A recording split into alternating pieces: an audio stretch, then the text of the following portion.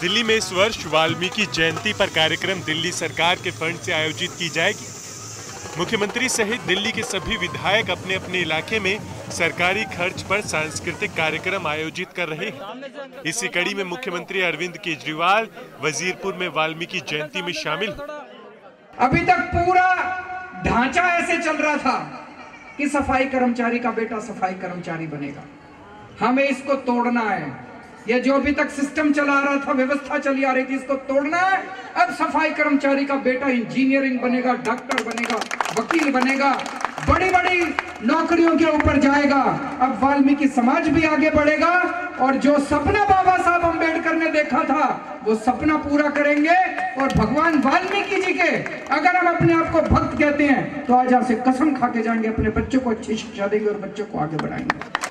दिल्ली के Wazirpur JJ colony में आयोजित वाल्मीकि जयंती पर मुख्यमंत्री अरविंद केजरीवाल ने दिल्ली सरकार की तमाम योजनाओं को सामने रखा।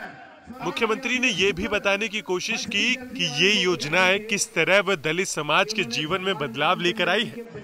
दरअसल वजीरपुर में बड़ी संख्या में वाल्मीकि समाज का वोट बैंक है। लिहाजा यहाँ मुख्यमंत्री खुद पहुँचे और सरकार की दलित समाज के लिए बनी कई योजनाओं का ज़िक्र किया।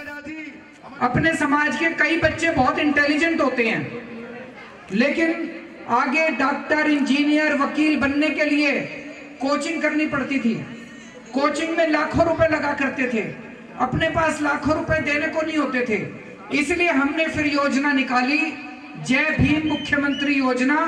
इसके तहत अब अगर अपने समाज का कोई भी बच्चा इंजीनियरिंग करना चाहता है डॉक्टर बनना चाहता है, वकील बनना चाहता है कोई भी करना चाहता है बारहवीं के बाद, उसको अगर कोचिंग चाहिए, अच्छे से अच्छे इंस्टीट्यूट में चला जाए कोचिंग करने के लिए, चाहे कितने लाख रुपए लगे, सारा पैसा दिल्ली सरकार दे आपको बता दें कि ऐसे आयोजनों के लिए दिल्ली सरकार ने हर विधायक को फंड दिया है। दलित और वाल्मीकि वोट बैंक आम आदमी पार्टी का माना जाता रहा है। लिहाजा केजरीवाल सरकार, शिक्षा, कोचिंग इत्यादि के लिए फंड तो दे ही रही है।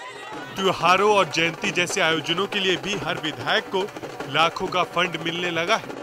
आने वाले दिनों में आपके इलाके में ऐसे और भी आयोजन धूमधाम से होते नज़र आए तो हैरान मत होइएगा।